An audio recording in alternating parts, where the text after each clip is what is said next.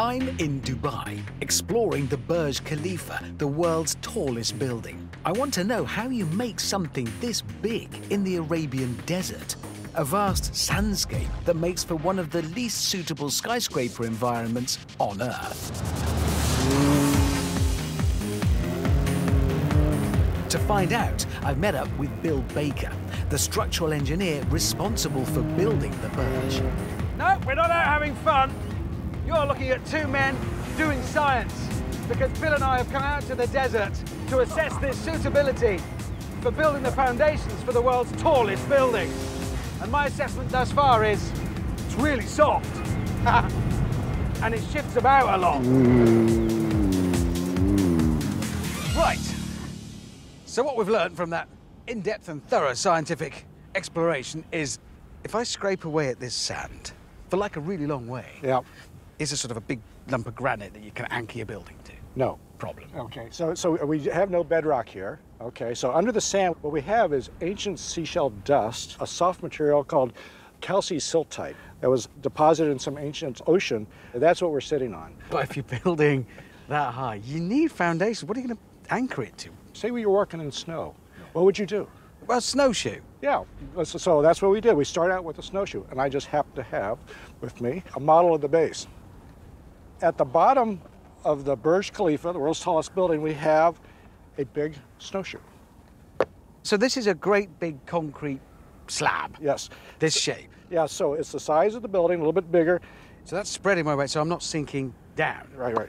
But there's a bigger problem. What's stopping it falling over? Below this, we drilled 194 shafts of concrete into this calcisiltite. so in the simplest possible terms, it doesn't sink because it's on this giant sand shoe. And these piles, they're still in effectively sand. Yes, So the thing that's holding it up, yeah, is friction. just friction. Yes.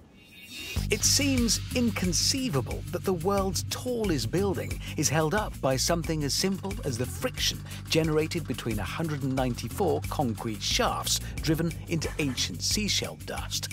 But actually, friction is one of the strongest forces on the planet. In fact, the friction is so strong that the Burj Khalifa, all 828 gravity defying meters of it, is supported by foundations stuck just 50 meters into the desert. But what happens when they're really put to the test? Dubai can be hit by sandstorms and winds up to 100 kilometers an hour, which is a big problem for big buildings. But not necessarily in the way you may think. Cue our hurricane in a box. Well, let's turn on the wind. So the wind is going this way. So it's pulling the wind in here Yes. And it's waggling about from side to side. It's not even remotely trying to do No, no, no. that. No. It's going to do that. Yeah, If a tall building were ever to fall over in the wind, it would probably fall over sideways, not in the direction of the wind. And this is the tall building problem. When wind swirls around a building, it forms small whirlwinds called vortices. These alternating pockets of low air pressure create forces on the building that can cause it to rock from side to side. Not as much as this, obviously, I've exaggerated it to make a point, but you get the idea. All skyscrapers have a natural frequency, the rate at which they like to vibrate. Just like this swing, if I push it gently, it'll settle down and settle into its natural frequency. Now the bit where it gets fun, because I have a go. Imagine this swing is the skyscraper, and my legs are the wind. On a perfectly flat-faced, symmetrical skyscraper, the wind can work with that natural frequency to actually increase the rate at which I'm swinging. It's called harmonic resonance. On a swing, we use harmonic resonance to go higher. But on the world's tallest building, it could cause it to sway more and more until it fell over. To stop that happening, Bill and his colleagues had to design a skyscraper radically different from any other. This is essentially the Burj Khalifa. The key aspects of this is how the shape of the floor plate constantly changes.